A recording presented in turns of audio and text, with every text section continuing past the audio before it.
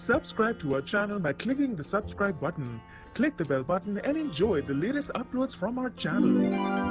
अहिल्या के एक फैसले ने बोलती बंद कर दी गुनु जी और धना जी सरकार की नमस्कार दोस्तों, स्वागत करती हूँ आपका, आपके अपने चैनल हंग्री स्पिरिट्स में हंग्री स्पिरिट्स देख रहे सारे दर्शकों का मैं अंजू शर्मा दिल से स्वागत करती हूँ तो ये बात अहिल्या को कैसे बर्दाश्त हो दोस्तों, कि उसी की प्रजा से उसके घर छीन लिए जाएँ क्यों? क्योंकि उनकी जो प्रशासन है, उनका जो मालवा की गद्दी पे जो लोग बैठे हैं, जो सेनापति हैं, जो सेना है, उनके गाँव वालों की रक्षा नहीं कर सकती है। इसलिए गाँव वालों को वहाँ से खदेड़ के उनके घर से खदेड़ के कहीं और बिठा दिया जाए।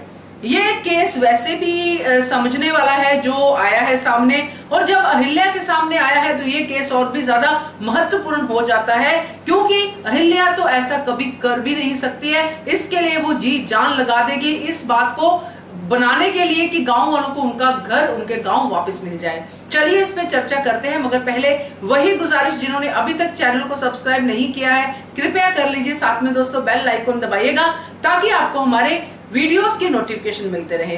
धन्यवाद। तो दोस्तों, एक बहुत ही अच्छी चीज़ जो हमने सीखी है इस सीरियल में कि आपको कैसे देखना है चीज़ों को। आपको प्रॉब्लम को प्रॉब्लम की तरह देखना है। उसका एक आसान सा तरीका देख के कि हाँ यहाँ से चीज़ यहाँ हटा दो तो साफ़ हो गया प्रॉब्लम सॉल्व हो गई। या फिर प्रॉब्लम का डट के मुकाबला करना है ताकि आगे ज़िंदगी में वो प्रॉब्लम आपके सामने ना आए। तो ये बात मैंने अहिल्या के इस डिसीज़न से देखी है कि कैसे उसने इस बात को लेके, इस इस प्रॉब्लम को लेके उन्होंने अपना डिसीज़न सुनाया।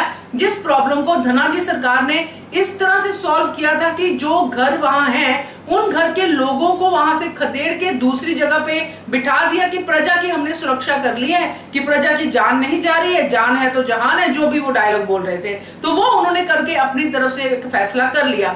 मगर दोस्तों, अहिल्या का ये नहीं है। अहिल्या का ये है कि अगर कोई समस्या है सामने, उसका मुकाबला करो, उसको सॉल्व करो, हमेशा के लिए। ताकि आगे से वो आपके सामने ना आए। वही उसने किया।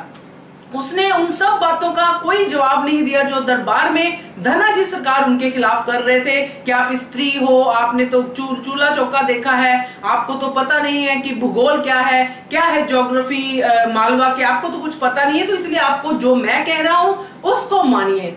मगर दोस्तों, उसने रिएक्ट नहीं किया, उसने कुछ नहीं बोला, सिर्फ़ सुना और जो उनको कहना था, फैसला सुनाना था, उन्होंने दरबार में सुना दिया। अब ये बात सुन के धनाजी सरकार तो डेफिनेटली तिल मिलाए होंगे कि मेरे फैसले के ऊपर एक फैसला कर दिया, जबकि मैं तो ये वाला कार्यभार मैं संभाल रहा हूँ और मेरे ऊपर एक औरत इस तरह से अपना फैसला सुनाएगी।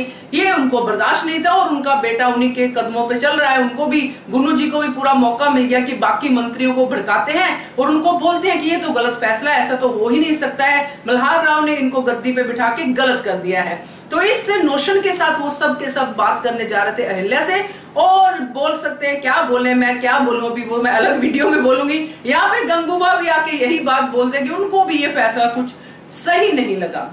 अब यहाँ पे जब ये लोग अंदर जाते हैं, उनको वहाँ पे जब अहिल्या से बातचीत होती है, जिस तरह से वो जोग्राफी इनको बताती है, इनको तभी समझ जाना चाहिए था कि अहिल्या जो भी फैसला करती है, उसके पीछे पूरी तैयारी के साथ वो फैसला देती है। तो जब ये चीज़ें उन्होंने दिखाई, अभी तो कल और भी रिवील होगा। आदिवासी का जो मुखिया है, उनको उन्होंने बुलाया हुआ है, हमने देखा, जहाँ पे फ्रीज हुआ है, वहाँ से और भी ज़्यादा सोल्यूशन निकलेंगे।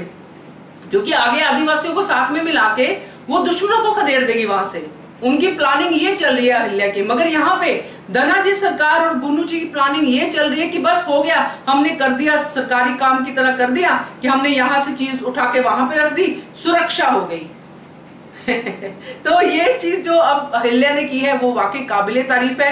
अगर मैं इस बात की एक और एग्ज़ाम्पल दूँ आपको तो जिस तरह से अहिल्या ने बचपन में ऐसी कुछ भूगोलिक चीज़ को दरबार में सॉल्व किया था, वैसे उन्होंने अब रानी बन के भी सॉल्व कर दिया है। तो ये बात गुनू जी को और धनाजी सरकार को याद रखनी चाहिए कि जब वो शिक्षित भी नहीं थी तब भी उसने ऐसा कुछ कर दिया था, दरबार में ऐसा सलाह दे दी थी मल्हार राव सरकार को, जो वो सुन के गदगद हो गए थे और उन्होंने कहा था, यस, यही होगा जो अहिल्या ने कहा है। शायद आपको याद होगा, क्योंकि वो कुछ झरने की या कुछ ऐसी बात हो रही थी कि पानी नहीं पहुँच रहा है गाँव में खेती के लिए तो वहाँ पे उन्होंने अपना एक सुझाव दिया था कि एक गाँव ऊपर है, एक नीचे है तो ऐसे करके बहाव को कर सकते हैं सॉर्ट आउट तो ये चीज़ें याद रखनी चाहिए ना तो मगर उनको याद नहीं है। इसलिए उनकी ये जो बोलती बंद होना बहुत ज़रूरी था और उनको अब ये भी समझ में आ गया होगा कि आगे भी ये जो रानी है, जो अहल्या रानी है, फैसले देगी और डंके की चोट पे देगी और आपको सुनने पड़ेंगे क्योंकि उसके पीछे उनकी वजह होगी। क्या कहते हो आप? कमेंट कीजिए, देखते रहिए channel Hungry Spirits. Thank you so much